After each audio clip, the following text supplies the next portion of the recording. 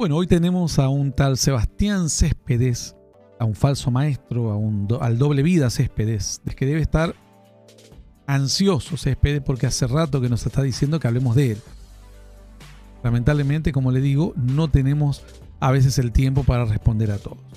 Hay varios personajes en las redes sociales que usan toda esta idea de la denuncia de los falsos profetas para hacerse famosos y para ganar dinero, digamos. Estas personas no pertenecen al cristianismo, no pertenecen a la fe.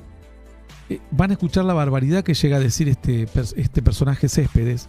A las personas que dicen tener el poder de sanidad, que imponen las manos en las personas y, y restauran los órganos, el cáncer, el SIDA, y dicen que tienen dones, ¿por qué en lugar de hacer eso en sus iglesias, con personas de su propio entorno, no vamos a un hospital público tomamos los diagnósticos médicos de los pacientes, hablamos con los doctores, vemos en qué situación se encuentran, que oren, que lo sanen y después vemos rápidamente si lo han sanado. Les invito a ver quién es el primero en contestar en decir yo tengo poder y hacemos eso. Yo te hago otra propuesta, porque este no es un ataque contra falsos profetas. Nosotros aquí eh, exponemos a los falsos profetas y le decimos a los falsos profetas que no le mientan a la gente, pero jamás dijimos que los milagros no existen. De hecho, hemos comprobado cantidad de milagros. En nuestra, yo en mi propia vida, en familiares, seres queridos, hemos visto milagros verdaderos, comprobados por la ciencia. Ahora, de ahí a atacar a toda la doctrina, la Biblia dice que Jesucristo es el mismo ayer, hoy y por los siglos. Entonces, si Jesucristo es el mismo, antes sanaba y ahora va a seguir sanando. Si antes liberaba, hoy va a seguir liberando. Nosotros no es que hablamos en contra de la sanidad de los milagros, hablamos en contra de las sanidades inventadas, de los milagros inventados. No es que atentamos contra la iglesia de Cristo. Hebreos 13:8 dice, Jesucristo es el mismo ayer, hoy y por los siglos. Y luego el Señor dice, aquel que cree en mí, las obras que yo hago, él las hará también y aún mayores. Mira que te respondo, ¿no? A los que abandonan a su esposa y a sus hijos y no les dan siquiera para cubrir las necesidades básicas, y quieren dar consejos a matrimonios y a iglesias para después querer lucrar con falsas enseñanzas, ¿por qué no intentan al menos ser hombres y hacerse cargo de su familia como corresponde? Luego intentar ser cristiano y congregarse y dar ejemplo de vida, para después querer tentar a Dios con tus desafíos infantiles.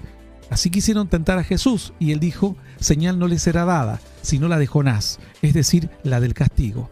¿Qué te parece el desafío? Esto podría ser para vos directamente, ¿no? Céspedes. Entonces, este es el problema. Cuando una persona así, en estas características, que abandona a su esposa, a sus hijos, no le dan siquiera para cubrir sus necesidades básicas, luego plantean un desafío tentando a la iglesia. Eso es una tentación. Claro, si mirás si, Elías va a decir, bueno, ¿sabes qué? Escuché a Sebastián Céspedes y la verdad que sí, es como los niños, ¿no? A ver quién se anima a, saltar la soga. ¿Quién se anima a golpearse la cabeza contra la pared? Ah, si sos macho, anda y mete la mano en el fuego. Ah, si sos macho, agarré el cuchillo y pasátelo por la pierna. Digo, eh, eh Céspedes madura un poco. Esto es algo infantil. Mira lo que te dice la Biblia, no yo. Yo ya te dije lo que te, el desafío que te puse, ¿no? Este, este desafío. Para que aquellos que quieran dar cátedras o querer hacerse los, los maestros, al menos siquiera mantengan a sus hijos y cumplan, como dice la palabra, dándole lo básico a la familia en lugar de querer hacerte el maestro por las redes sociales, ¿no? Mira lo que te dice Mateo 12:39. La generación mala y adúltera demanda señal, pero señal no le será dada, sino la señal del profeta Jonás. Bueno, ahí está, sos parte de la generación mala y adúltera. Que no es que estás hablando de un falso profeta que no hizo un milagro, que le mintió a la gente. Estás tentando a todos los hombres de Dios del planeta a que escuchen tu pequeño desafío y vayan a un hospital público diciendo, bueno, Dios, yo vengo aquí porque vos vas a tener que sanar porque Sebastián Céspedes me dijo que tenés que sanar. Si no quedo mal. Escucha lo que te dice Lucas sin duda me diréis este refrán. Aquí te lo podría poner yo como entre paréntesis, Sebastián Céspedes. Sin duda me diréis este refrán, doble vida Céspedes. Médico, cúrate a ti mismo. ¿Eh? de tantas cosas que hemos oído que se han hecho en Capernaum, haz también aquí en tu tierra, ¿no? Tentando, así como tentás vos. Vengan y hagan, métanse al hospital y sanan a la gente, ¿eh? Eso es tentar, eso es un desafío al cristianismo. Mateo 4.3. Y vino a él el tentador y le dijo, el tentador, Sebastián Céspedes, doble vida Céspedes, y le dijo, si eres hijo de Dios, di que estas piedras se conviertan en pan. A ver, a ver, a ver quién se anima. Les invito a ver quién es el primero en contestar en decir yo tengo... Bueno, ahí está, ahí está, les invito a ver quién es el primero. Bueno, así, así le dijo, si eres el Hijo de Dios, di que estas piedras se conviertan en pan. A ver, los invito a que alguien venga y me convierta las piedras en pan como para que yo crea en él. Pero lo mismo que hizo Satanás, es decir, no estás muy lejos, Sebastián Céspedes. Solo un Satanás eh, y un hipócrita que no puede arreglar su vida, su matrimonio, tiene un desastre, no los puede atender a ellos, pretende hacerse el maestro de la palabra, desafiando a toda la iglesia cristiana alrededor del mundo. Una cosa es atacar al falso profeta, otra cosa es atacar a cuánta gente que experimentó milagros reales de Dios, incluso gente en las iglesias de falsos profetas experimentaron milagros por misericordia de Dios. Pero Él les plantea un desafío.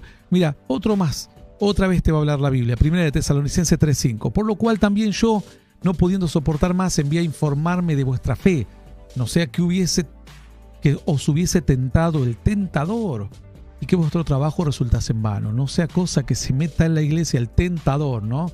Aquel que diga, bueno, a ver, a ver quién se anima. Les invito a ver quién es el primero en contestar en decir yo tengo poder. Ya está, a ver quién se anima.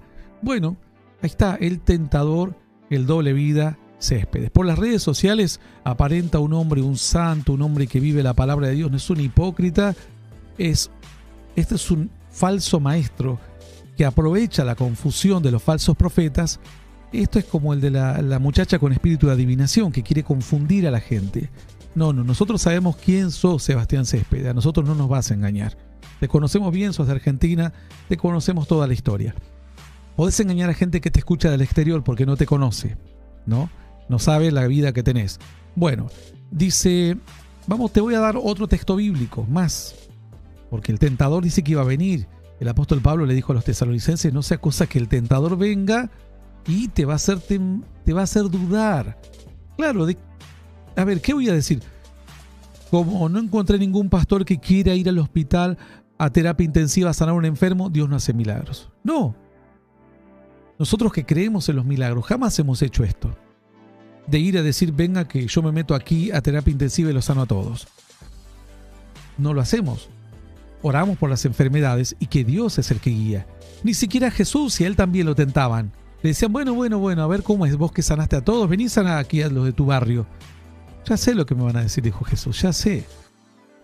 Claro, lo que dice Sebastián Céspedes, el tentador doble vida Céspedes. Médico, cúrate a ti mismo, ¿eh? Vamos. Tantas cosas que escuchamos, vení aquí y hacer los mismos milagros.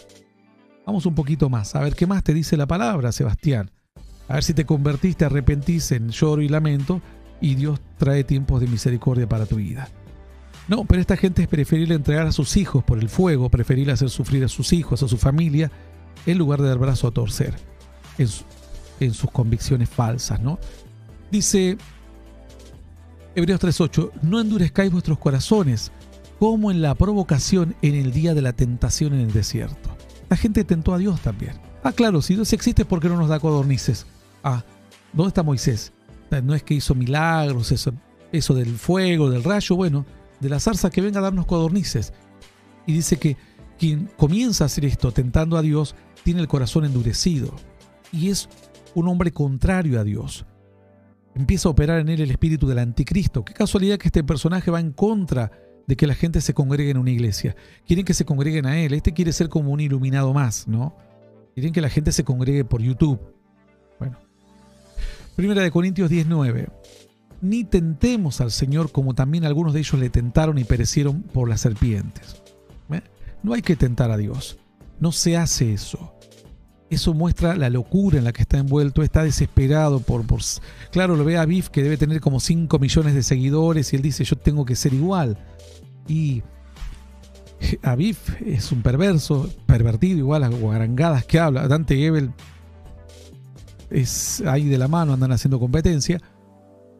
Pero no hace falta tentar a Dios o tentar a los siervos de Dios. vengan y, y entren a la terapia intensiva y sanen a los enfermos. ¿Cómo es? Ni Jesús entraba, iba sanando a, todas las personas, no resucitó a todos los muertos. ¿Cuánta gente murió? Apenas resucitó un puñado. Ni siquiera llegaron a ser ni siquiera cinco personas, menos tu mano, con una mano te sobran los muertos que resucitó Jesús. Y era el Hijo de Dios. ¿Por qué no resucitó a más? Si tanto le sobraba los milagros. Pero eso es tentar a Dios. Tentar. El tentador es Satanás. Y en este caso, el doble vida, tentador Sebastián Céspedes. ¿no? ¿Qué más dice? Dice, no endurezcas tu corazón en el día como hiciste en el día de la tentación en el desierto. Y luego dice, Primera de Corintios 19, como algunos de ellos le tentaron en, y perecieron por las serpientes. ¿Quién te terminó mordiendo? El diablo. ¿Para quién trabajas? Para el diablo. Porque no estás hablando de un falso profeta con una situación puntual. Estás atentando contra toda la iglesia de Cristo y contra todo el mover del Espíritu Santo, no ahora, ¿eh? No ahora, sino a lo largo de la historia porque hubieron siglos y siglos donde la gente se arrodilló y clamó por la sanidad de su hijo, no había iglesia cerca, no había hospital cerca y Dios operaba milagros. Vamos a Lucas 11, 15. Pero algunos de ellos decían, por Belcebú, príncipe de los demonios, echa fuera a los demonios. Otros, para tentarle, le pedían señal del cielo. Mira vos, otros. Ahí entre paréntesis podríamos poner Sebastián, doble vida, el tentador, Céspedes pedían señal del cielo. No te va a dar señal, Dios, Céspedes. No, no te va a dar señal. Estás condenado a hablar por YouTube simplemente el delirio de dos o tres que te agarra alguna secta, como los adventistas, testigos de Jehová. Algunos de estos te van a llevar al apunte porque piensan lo mismo que vos, pero señal de Dios ninguna hasta que no haya arrepentimiento. Y Mateo 16.1, vinieron los fariseos y saduceos para tentarle bueno, aquí podríamos poner, vinieron los fariseos saduceos y Sebastián doble vida, el tentador Céspedes, para tentarle y le pidieron que les mostrase señal del cielo. Qué casualidad, ¿no? Todos estos pidiendo señal del cielo. Vos podés hablar de un falso profeta que está mal porque estás viendo que está mal, que manipula a la gente. Pero salir a desafiar a todos los siervos de Dios a decir vengan al hospital a sanar enfermos. Yo digo la verdad que eh, por algo debes estar un poco mal adentro. Hay cosas que pasan por, por algún motivo, me parece. Bueno, vamos a... Este, te voy a dejar ahí, Sebastián, ya con esto, doble vida tentador céspedes, tenés bastante, ¿no? Yo sé que la daga va a quedar clavada y vas a quedar balbuceando un tiempo, pero lamentablemente cuando un siervo de Dios te exhorta, es así queda como un clavo hincado en lugar firme y tenés que arrepentirte o bien demostrar bíblicamente lo que estás haciendo. Lo que estás haciendo es satánico. No se desafía a la iglesia en el Espíritu Santo a hacer milagros. Si Dios hace, oramos por milagros. Dios quiere sana. Si Dios no quiere, no sana. Ahora, que hay pastores que inventan milagros, sí es cierto, y aquí los denunciamos. Pero no, aquí en este programa no desafiamos a la iglesia de Cristo ni atentamos contra la iglesia de Cristo sino queremos sacar a los malos elementos o esperar su arrepentimiento de la iglesia de Cristo. Pero que la iglesia de Cristo se mantenga y busque los bienes duraderos, las bendiciones duraderas, los milagros duraderos, las manifestaciones verdaderas y puedan estar renovadas para los próximos milenios que tenga que enfrentar.